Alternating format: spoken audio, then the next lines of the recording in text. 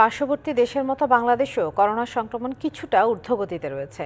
তাই সবাইকে করোনা টিকার বুস্টার ডোজ নেওয়ার তাগিদ দিয়েছেন স্বাস্থ্যমন্ত্রী জাহিদ মালিক। বৃহস্পতিবার দুপুরে সচিবালয়ে ওষুধ শিল্প সমিতির নেতাদের সাথে বৈঠক শেষে কথা জানান তিনি। ডলারের মূল্য বৃদ্ধির কারণে ওষুধ তৈরিতে ব্যবহৃত কিছু কাঁচামালের দাম বাড়তে পারে বলেও জানান তিনি। অতি শীঘ্র বুস্টার ডোজটা নিয়ে নেবেন।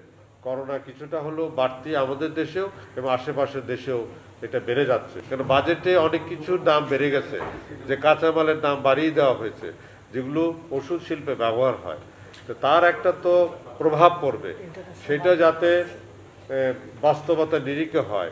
ডলারের দাম বেড়েছে, কাঁচামালের দাম বিদেশ, কাঁচামাল বিদেশ থেকে আসে, সেটারও দাম অনেক বৃদ্ধি পেয়েছে। সব বিষয় আমরা আলোচনা